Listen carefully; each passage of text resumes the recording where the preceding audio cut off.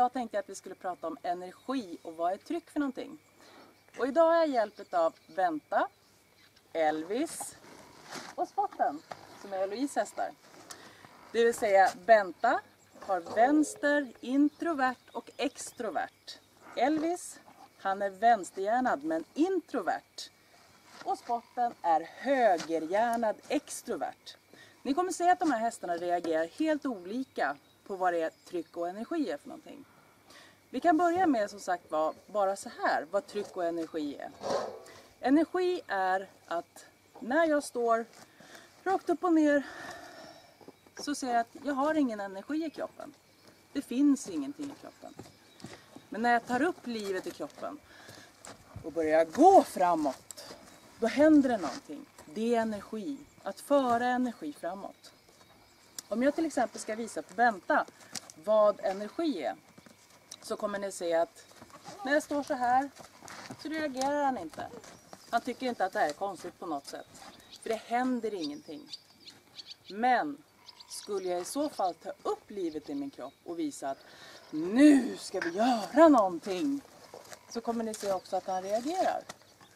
Det är energi och att rikta energi någonstans. Många gånger så får jag höra att ja, men min häst gör inte det här. Den flyttar inte på sig. Nej, det är för att ni måste ta upp livet i kroppen. Ni måste gå framåt och visa hästen vad den ska göra. Tryck å andra sidan, det är att när vi lägger på ett tryck på hästen så visar vi den att någonting ska hända. Den borde göra någonting. När vi tar bort trycket, då har vi visat att det var det här du skulle lära dig. Jag tänkte jag skulle förklara lite mer vad det här med tryck är. Just för att visa på hästen angående att först tar vi bara och känner håret på hästen. Nästa så känner vi huden.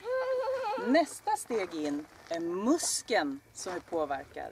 Och det allra sista trycket vi lägger på i fasen är benet för att se om hästen flyttar på sig. Och när hästen väl flyttar sig, oavsett för alla dessa olika tryck, så är det så att så fort de har svarat på det trycket, då släpper vi det. Då förstår hästen vad det är den ska göra. Jag vill också nämna att en häst känner en sån lätt sak som i en hagelstorm så kan de känna en fluga som sitter på deras rumpa. Och när vi är klara, när vi har kommit längre fram, så kommer ni också märka att det kommer räcka bara att vi lägger handen på så flyttar sig hästen. Ni kommer också märka att alla tre av de här hästarna kommer reagera olika på tryck. Jag kommer köra hästarna i cirkelleken så kommer ni kunna se det här förhoppningsvis mycket tydligare. Och hur energin är i kroppen på det, vad som krävs, hur mycket som krävs eller hur lite som krävs beroende på deras personlighet.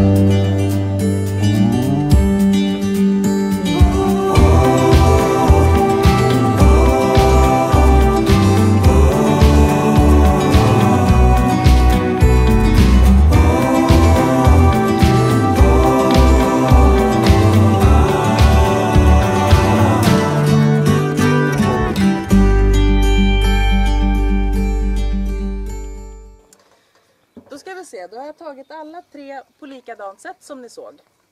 Och alla tre hade olika energier. Som ni såg Bentley, Måste jag gå?